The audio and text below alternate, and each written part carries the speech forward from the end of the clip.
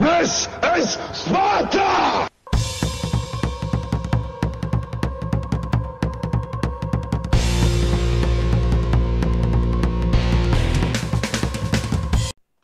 Hello, everybody, and welcome back to World of Tanks. My name is Spartan Elite 43, and tonight I'm bringing you another amazing community replay. This time from Clone Guy, and he's in the amazing T26E5 Patriot.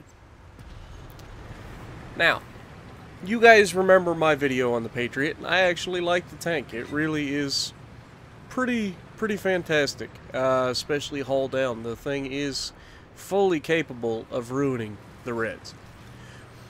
That being said, um, I've never even come close to what we're about to see Clone Guy do.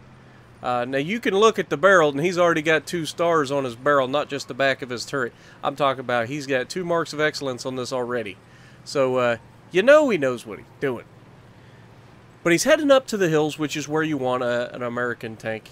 Uh, that is just I love this tank. Now, I know the graphics look a little weird at the moment. he takes a shot and hits the Tiger 2 across the map. I'm not sure, but, you know, we all do it. and he's already calling good game. It's over. Over. Before it even starts, it's over. Tiger 2 went the wrong direction. Definitely over. But it's fine. It's fine. Like I said, we are about to see the best game I've ever seen somebody have in a Patriot, and it's going to be absolutely amazing. Now, what do we know about American heavy tanks, or American tanks, period, for that matter? Uh, other than the tank destroyers, like American tanks are built around gun depression a lot. Uh, if you remember T29, uh, your E5, your T57 heavy's a little bit less, but like your M48 Patton, all of the American uh, tanks love to be hill peakers. We just pop up over the ridgeline. Look at the gun depression. He just sticks his turret up, pops around into the guy.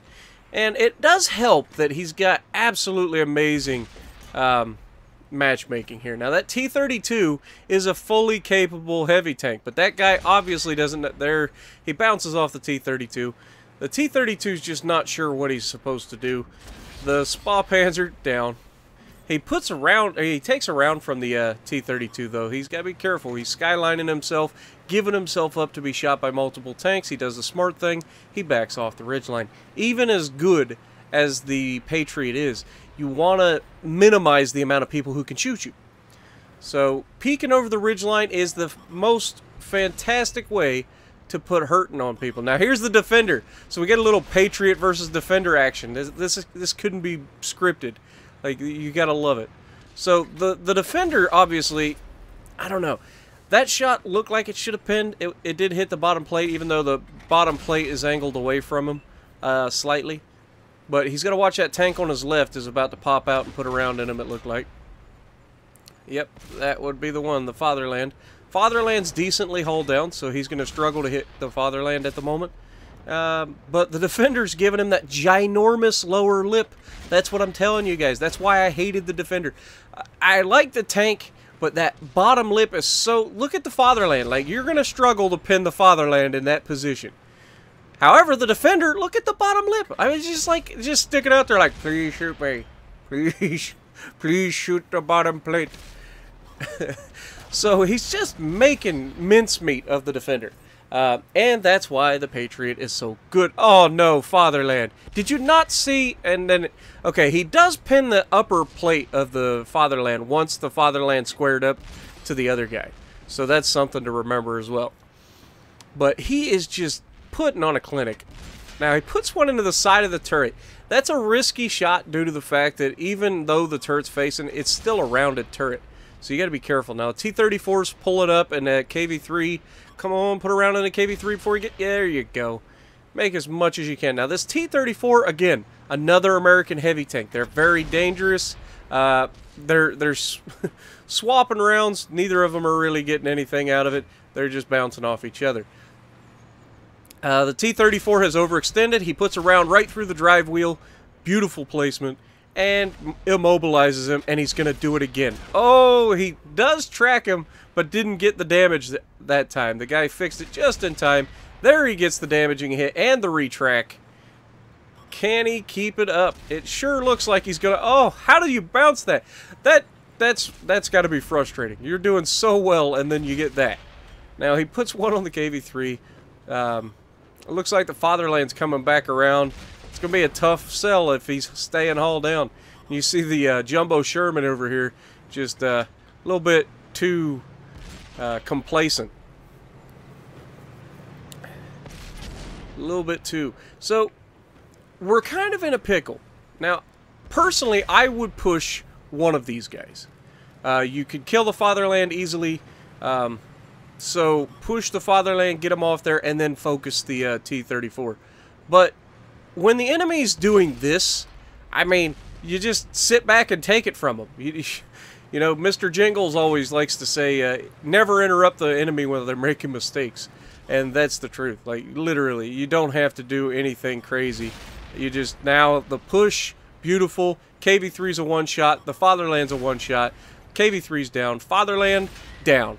All right, now we've swung the match back slightly. We're only down one tank. Uh, make that down two tanks. Um, like It's like always on cue. Now, the Jumbo Sherman's holding his own. And this T-32, that, that was a bit of a risky shot. That shot went through the upper plate of the T-32. Uh, it's not going to happen every time. But he kind of makes me a liar. And down the KV, or the T-32 goes. So, we're still down two tanks. How are we going to pull this back? There's lots of bad guys out there. And all of them would love nothing more than to uh, farm a practically full health Patriot. But they're going to get more than they bargained for because we're already up to 23 pins and 4 kills. That's ridiculous. Alright? Ridiculous. so, moving across the map, he's trying to get there as fast as he can to be at least in view range of the enemy. If he can get some shots across the map. And here he comes. Now, everybody's low health Aiming, aiming, come on, shot out on the Tiger 2. Puts one, oh, just low rolls him. Keeps him from uh, finishing him off. Come on, STA, got him. Oh, this is a freak, this is shooting fish in a barrel, guys. Look at this. VK100, side shot, all day, every day, no problem. Come on, can he finish the Tiger 2 off? Sure looks like it, shot out. Oh, what happened there? The round bounced. Not preferable. That's just frustrating. So it's 3v3. Now, he's got some formidable armor against him. Tiger 2's a one-shot kill, so you know it's basically a 2v3. Uh, but you've pushed down, you've got to keep going. You can't sit there. Now, they're going to put some rounds on you. But by pushing down the hill, you limit the amount of people who can shoot you because they don't want to skyline themselves to be shot by your teammates that are sitting behind you. So, this is a good push. Now, this VK100 is very dangerous by pushing over like that. Um, now, you've got to be careful because now you've gotten yourself into this position and you're being shot from multiple people and that guy on the left is just absolutely ripping him apart. So he's keeping the uh, VK-100 tracked and he's still eating damage from the, the tank destroyer on his left. He finally gets around into the uh, VK-100 that actually does damage and We've got the T-25/2. He puts around on the T-25/2.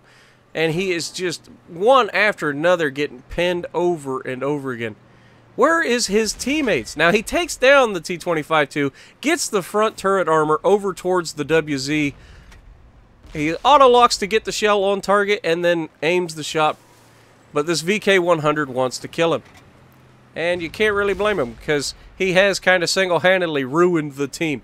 Now, he's got six kills, guys. oh, get out of there. He's going to ram you. Yep, that doesn't feel good. But now, backside shots. And there it is. Get the armor around. Charge straight ahead so that you make him shoot your turret. He fumbles a shot. And down he goes. We, that leaves only the WZ Tier 6 Chinese tank. The first of the Chinese tank destroyers that's actually decent.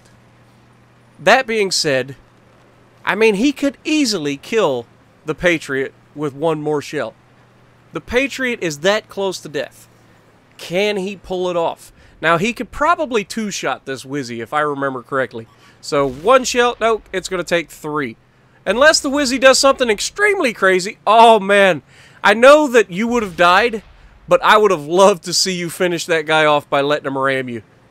That would have been amazing. And down over the hill and killing for eight kills, 36 pins. My God.